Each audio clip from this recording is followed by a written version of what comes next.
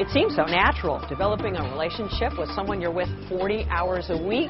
But the office romance might be a little more than you bargained for. Sure, it's great. You can see that person every day. That's when it's going well. But if it goes bad, wow, it brings up issues like favoritism, jealousy, or even worse.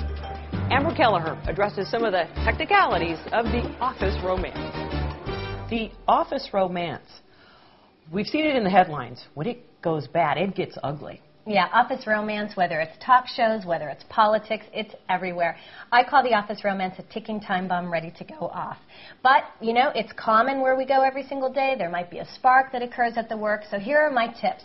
First of all, what you need to do is check your employee handbook. Your company will definitely have rules. They're either going to prohibit you from having a relationship at work or they're going to allow it with some conditions. For example, you might be able to date a peer, somebody within your department, but you cannot date your boss or the manager. There's a big difference, so you need to know that.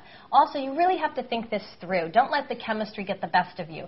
You're going to see this person every single day. You're going to see them at night after work. Is this really what you want?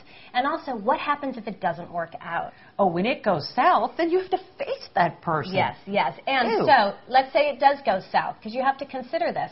If it goes south, one or both of you may lose your job. It's very, very rare that you can have a true office romance, break up, and still be within the same company and both doing okay. Oh, and like you think you can keep it a secret? People are like, oh, you know, they know what's going on. You know, speaking of that, in the mailbag, uh, Greg A asks, "Is it good to shop talk on a date? I heard talking about work as a buzzkill."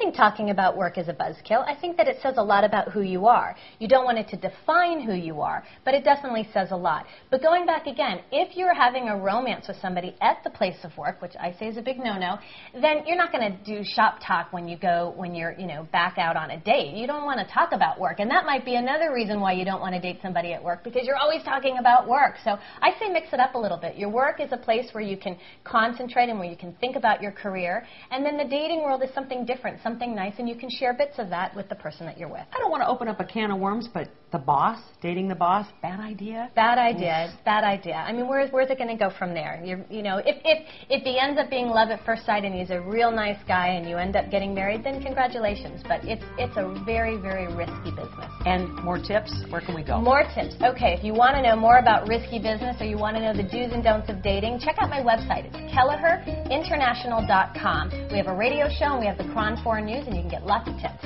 Scintillating.